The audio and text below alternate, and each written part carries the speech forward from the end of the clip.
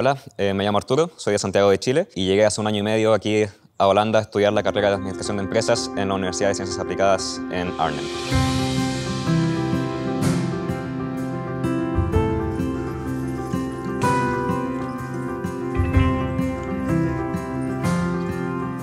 Yo trabajo en Tausbesort, que es una empresa aquí nacional holandesa, que es básicamente un Uber Eats.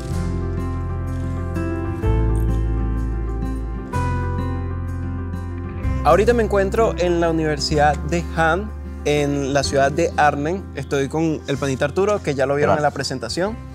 Y voy a estar recorriendo un poquito acá este instituto y conociendo un poquito de la historia de Arturo como estudiante en este país. Cierto que, que- que su historia es un poquito peculiar, particular, porque Sí. tiene nacionalidad europea, Correcto. sí. española para ser específico. española para ser específico, entonces todo lo que es los requisitos cambian un poco. Cambia un poco, pero aún así su experiencia le puede servir a las personas que quieran venir a estudiar acá una carrera universitaria, porque también se puede para esas personas que no tienen una nacionalidad de Europa. Sí. Así que vamos a estar recorriendo un, un pedacito por acá y conociendo la historia de Arturo, que yo sé Es- que le puede servir a muchas personas. Sí, 100%. Así que nada, vamos a darle.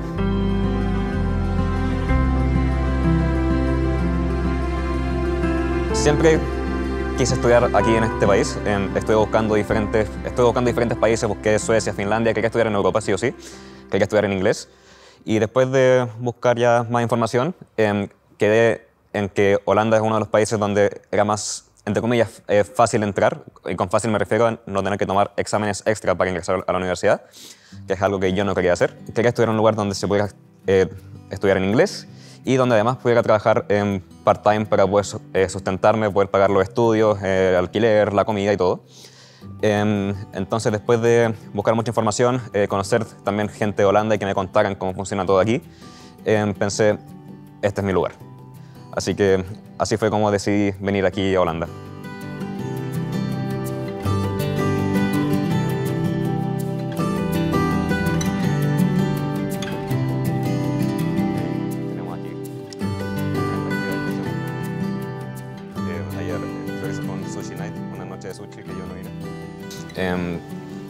Aplicar a la universidad acá en Holanda, eh, todos, absolutamente todos, incluso los holandeses, primero hay que, tienes que crearte una cuenta en una página que se llama uh, StudyLink. Ahí te voy a pasar el link para que lo pongas en la descripción. Y ahí uno tiene que poner sus datos, em, nacionalidad, edad, todo, todo, todo. Y a partir de ahí uno empieza, eh, uno tiene una plataforma donde están todas las universidades de todo el sistema, de todo el sistema educativo holandés. Y ahí uno elige a qué universidad postular. Si no me equivoco, uno puede postular hasta cuatro o cinco universidades al, mi- al mismo tiempo, ya sea Hogeschool, Universiteit o MBO. Eso es como para empezar, para empezar a postular. Em, los requisitos que te piden em, en lo que es donde estoy estudiando yo. Voy a dar como referencia eh, las notas de Chile que me pedían.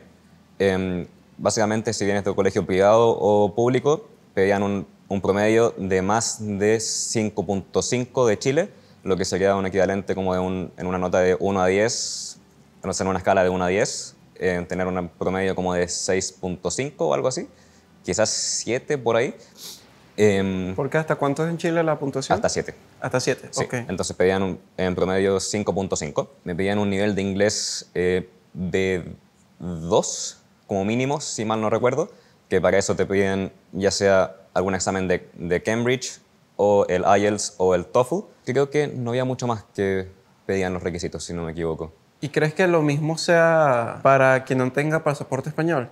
Sí, sí, los requisitos son iguales porque yo tengo pasaporte español, sí, pero toda mi- todos mis estudios previos fueron todos en Chile. Entonces la única diferencia es que yo no tuve que hacer un, que no tuve que postular a un visado de estudiante. La única diferencia. Pero los requisitos son básicamente lo mismo porque yo de todas formas, aunque sea español, estudié en Chile. Em, Entonces, si, si no me equivoco, esos son todos los requisitos.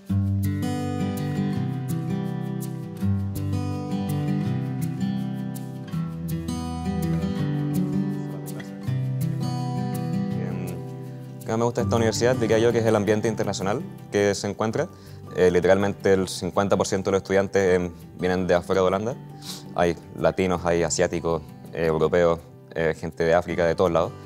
Eh, entonces se arma como una especie como de em, choque cultural bastante, bastante interesante.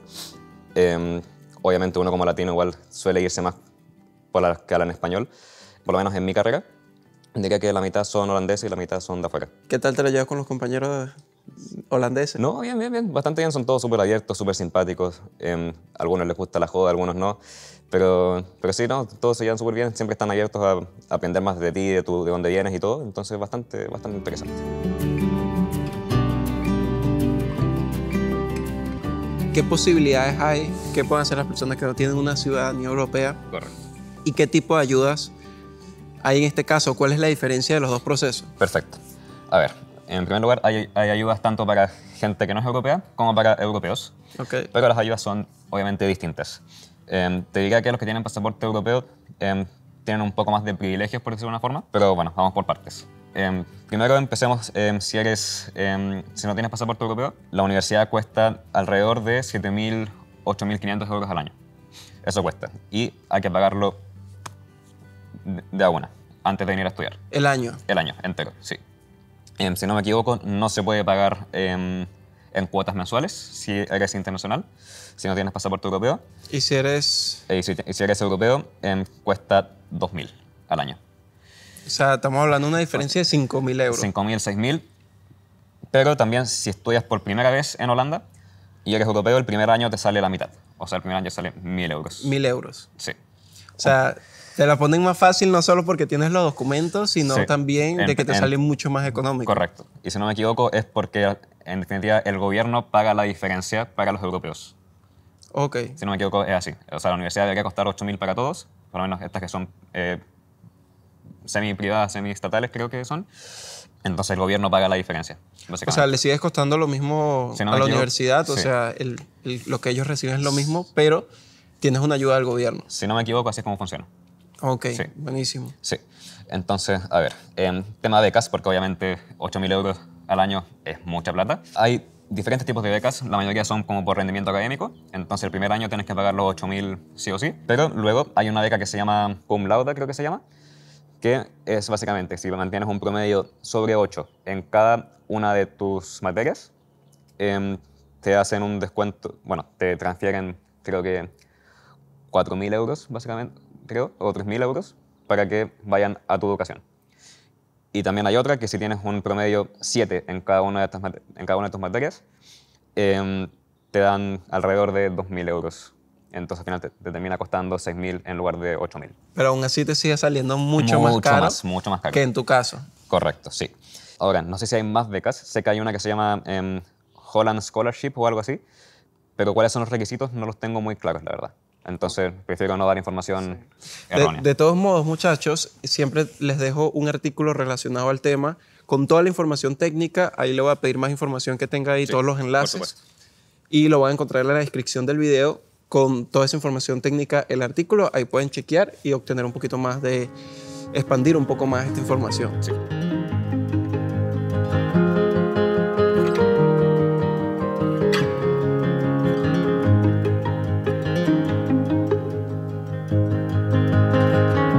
Bueno, muchachos, estaba hablando acá con Arturo sobre los niveles de educación, porque acá en Holanda es un poquito diferente. No sé cómo será en América, en Estados Unidos, Eh. si funcionará similar, pero acá los niveles superiores tienen como una clasificación. Correcto. Tú que sabes más de eso, Arturo, cuéntanos un poquito más. A ver, en lo que es educación superior, hay como tres niveles. Em, sí, son tres niveles. Está el más bajo que se llama MBO, después está uno intermedio que es HBO y el más alto que sería eh, WO. Esos, esos son los nombres en holandés. Em, ¿Qué significa cada uno? El primero, MBO, es básicamente educación práctica. No hay mucha teoría, no hay mucha investigación, es simplemente ponerte manos a la obra. Em, luego tenemos em, HBO, que es donde estoy estudiando yo, que es como un punto intermedio entre una universidad y un, eh, un in- instituto profesional. Que aquí tenemos teoría, pero también tenemos eh, práctica. Entonces, lo que nos enseñan lo ponemos en práctica casi que inmediatamente. Y luego tenemos WO, que sería una universidad de investigación o las universidades más típicas que tenemos en Sudamérica, como la Universidad de Chile o la, la Simón Bolívar en Venezuela la, o la UBA en Argentina. Y esos básicamente son un breve resumen de los tres tipos de universidades aquí. Y bueno, también ahora nos vamos entonces a los que tienen pasaporte europeo, que supongo que hay mucha gente que tiene pasaporte ya sea español, italiano o lo que sea. Hay mucha ayuda eh, gubernamental. La- el Ministerio de Educación aquí se llama DUO y si el sueldo de tus padres es menor a 3.000 euros mensuales, si no me equivoco, el Ministerio de Educación te aporta con dinero. El gobierno te puede dar hasta 400 euros mensuales, siempre y cuando el sueldo de tus padres sea menor a 3.000 euros y siempre y cuando tú también trabajes más de 56 horas al mes.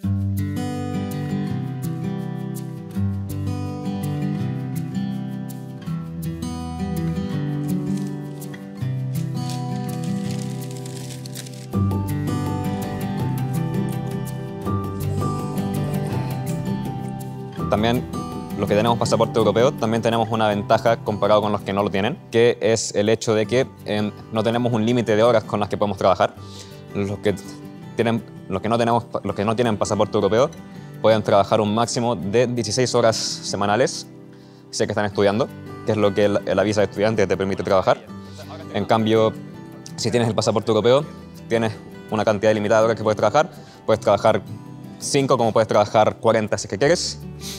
Eh, entonces también eso es una ventaja más eh, para los que tenemos pasaporte europeo y eso ayuda bastante al bolsillo. Así que lo más difícil es eso, el frío y el viento en las manos y en la cara. Eso es lo más terrible. Y cuando estáis mojados, obviamente eso no, no ayuda, pero por lo menos el día, hoy día el día está hermoso. Así que nada, es un día lindo para trabajar. Eh, o sea, por ejemplo, apenas llegué, eh, en mi clase ya había un latino, un argentino. Estábamos en la mi- misma clase, misma sala, todo lo mismo. Eh, un par de semanas después conocí a otro chileno, después a otro más. Eh, nos juntamos, celebramos las fiestas patrias juntos acá y he conocido también eh, muchos españoles, bastantes españoles. La mayoría están de intercambio de Erasmus, que eh, ¿Lo menciono ahora? Sí. Que a- hablando de eso, aquí en, en Europa en general, muchas carreras suelen tener programas de intercambio, que muchas veces suelen ser obligatorios, como es en mi caso, en mi carrera, irme de intercambio es obligatorio. Y si te vas de intercambio dentro de una eh, ciudad, dentro de una universidad dentro de Europa, eh, sin importar si eres europeo o no, incluso si eres eh, de Chile no tienes pa- pasaporte europeo, eh, aplicas para postular a una beca llamada Beca Erasmus, que te paga hasta 400 euros mensuales también por estar en esa otra universidad. Y da lo mismo de dónde eres, siempre y cuando estés dentro de Europa. Todo el proceso a mí, pues, para quedar aceptado en esta universidad, fue bastante corto. Fue un mes puede ser. Bueno, obviamente haya postulado a más universidades. Primero quería estudiar en una universitat, en una universidad de investigación. Eh, ahí siempre quedé en, en lista de espera o, o qué sé yo. Eh, lo que sí, cada universidad aquí en Holanda eh, le dan un fuerte eh, énfasis, un alto énfasis en lo que es conocerte a ti como persona y tu motivación para entrar a la carrera. Entonces, em, siempre em, tienes que hacer una entrevista uno a uno con alguien de la universidad. Te preguntan por qué quieres estudiar en Holanda, por qué esta carrera, en qué te motiva y te quieren conocer un poco más y ver que tu personalidad y tus motivaciones sean un en- en- encajen con la carrera y con la universidad. Después de aplicar y después de que vean que hay un posible encaje contigo como estudiante con la universidad, em, te llega un correo y te dicen felicitaciones, em, has sido seleccionado para una entrevista o algo así. Te dan la fecha, tienes que confirmarles si puedes a esa, en ese día y esa hora. Si no puedes, se cambia. Obviamente le dije que sí. Em, fuimos a la, a la entrevista. Eh, la entrevista la hicimos por Skype porque esto fue en plena pandemia y fueron 10 a 20 minutos, no más que eso. Bueno, me empezó a hacer preguntas sobre mí, de dónde venía, por qué quería estudiar aquí, si es que tenía alguna experiencia interna- internacional, porque como esta carrera es internacional, querían gente como abierta a nuevas culturas y todo eso. Eh, y cuando termi- terminamos de hablar, me dijo, bueno, veo que hay un encaje, felici- felicitaciones, está aceptado. Y de hecho diría que les importa más tu motivación a, a tus notas previas. No es como en Sudamérica que siempre es nota, nota alta, nota alta, nota alta. Aquí si ven que tienes la motivación y, lo- y las ganas de estudiar la carrera a la que estás postulando, eh, lo más probable es que quedes adentro. Si, si- si es que lo- logras demostrarles a través de la entrevista que eres un, de que encajas. O sea, por ejemplo, me acuerdo que eh, postulé, en primero postulé a una universidad en, en Maastricht y postulé a una carrera en específico que no era nada que ver con, con negocios. Tuve la entrevista con, el, con, la, con la gente de administración y cuando, cuando terminamos de hablar, eh, me dijo, el mismo entrevistador me dijo, te veo motivado y todo, em, me gustan em, tus notas y bla, bla, bla, pero creo que no eres un encaje perfecto para esta carrera, pero hay otra carrera en la que creo que puedes encajar mejor. Así que te recomiendo postula esa carrera y ve cómo te va. O sea, incluso ellos mismos te, te buscan soluciones. Interesante. Sí, sí. Entonces, ¿cuánto te duró eso? Eh, no sé si ya me habías dicho Sí, de- de- em, desde que aplicaste hasta que te respondieron. Sí, para esta universidad te diría que fue menos de un mes. En menos de un mes ya está aceptado. En este caso, tú te vas. Yo me voy a Españita. A Españita linda, me voy a la playa a esca- a escapar del- de la falta de sol que hay aquí en Holanda. Y nada, eso, el cuánto, cuánta plata te dan, depende del destino. Los países más caros te dan la cantidad más alta, o sea, dígase Finlandia, Noruega, Suiza, te dan 400, 450 euros mensuales. Eh, en España te dan como 350 y en República Checa te dan 250 o algo así. Pero es un año nada más. Seis meses. Seis meses. Sí, Ok. sí. Es más o menos complicado, sí, encontrar eh, alquiler, habitación, lo que sea. Eh, generalmente las universidades te, tienen como una eh, oficina donde te, donde te ayudan a, a buscar eh, dónde vivir, que en mi caso mi universidad lo tenía. Antes de venirme a Holanda, les mandé un correo a esta, a esta oficina y les pregunté eh, cómo puedo conseguir lugar y me dijeron que tenían contactos con diferentes agencias con, que tienen residencias estudiantiles. Así que entré en contacto con ellos eh, y simplemente ahí comencé a, a buscar diferentes apartamentos. ¿Y qué tal el precio? ¿Los precios? Eh, varían desde 400 hasta 550 euros. Sí. Entonces yo llegué a eso que comencé pagando 425 al mes y estuve viviendo en ese apartamento por un año. ¿Y no varía esa ayuda si eres europeo o no? No, no, No. no, no, no. No, ellos te, te llevan da lo mismo. Eres un estudiante más, así que te ayudan a, a buscar dónde vivir. Sí. Y te, te dan diferentes links, ya sea eh, Camernet, eh, grupos de Facebook eh, o, o agencias inmobiliarias. No es tan, tan difícil. Eh, hay, depende de la ciudad también, porque Arnhem no es una ciudad tan conocida, entonces hay un- es un poco más fácil. Pero si te vas a Ámsterdam o Utrecht, encontrar algo es mucho más difícil y mucho más caro. Eh, por ejemplo, yo ahora, para este semestre, eh, no, pude eh, alquilar una habitación con una agencia de la universidad, entonces tuve que buscar por mi cuenta en Facebook y encontré justo una, eh, una oferta que, me, encontré interesante en un pueblito que está a 5 minutos de Arnhem, en bici, y me queda a 10 de la universidad. Eh, le escribí por Facebook a esta gente que está alquilando la casa. Eh, somos seis estudiantes, tres internacionales, tres holandeses, una venezolana, una alemana eh, y el resto son holandeses. Y no costó tanto encontrar. Eh, le escribí el mismo, no el mismo día, pero dos días después eh, fui a ver la habitación. Me gustó, les dije que por mi parte tienen un sí y me confirmaron en cinco días más. Hay de todo. Cuando llegué al lugar donde llegué primero era bastante terrible en términos de higiene y limpieza de la gente que está en un principio. Entonces fue un poco difícil al principio. Luego uno se acostumbra, uno habla con la gente y todo se arregla. Pero en general son habitaciones de 12 metros cuadrados, algo así. Viene el internet incluido, el gas, agua, electricidad, todo viene incluido. Pero cumplen con lo que necesitan. Generalmente vienen amuebladas con cama, escritorio y un mueble para la ropa.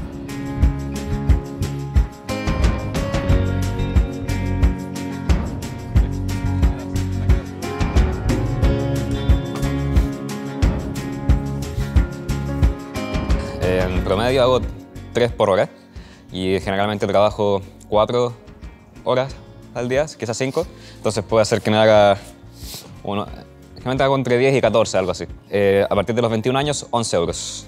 A partir de los 11, a partir de los 21 años, perdón. Antes de eso, es proporcional lo, lo que has hablado en otros videos tú.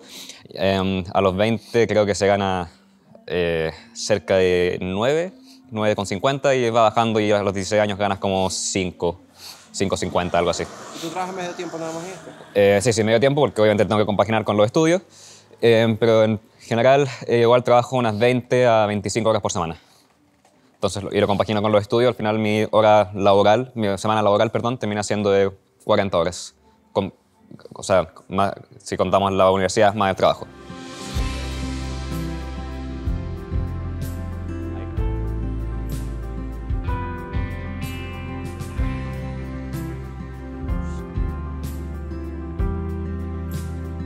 ¿Y lo que menos te gusta? Lo que menos me gusta. Em, de repente podría ser un poco medio desorganizado. Entonces a veces, a veces uno, se, uno se, pierde, se, pierde, un poco con qué es lo que tiene que, que buscar aquí en, en, en, las plataformas. Uno piensa que bueno, estamos en Holanda, estos, estos son los más organizados de todo el planeta, pero a veces hay desorganización. No hay como una guía, no es como que te digan tienes que hacer esto, esto, esto y esto. Te dicen nuestro proyecto final es hacer esto, todo lo que hay entre medio y lo que hay al principio, dale tú. Al momento de postular, eh, tengan en claro que les importa mucho la motivación, entonces si pueden dejar en claro a través de la entrevista, dejen como un mensaje sobre la mesa para esta persona de que tú vas a encajar con la carrera. Si tienes buenas notas o notas decentes y les demuestras 100% que estás motivado y que vas a hacer un, aporte para la universidad, para los estudiantes, para los profesores y para ti mismo, eh, lo más probable es que quedes adentro, por lo menos en una universidad como Han.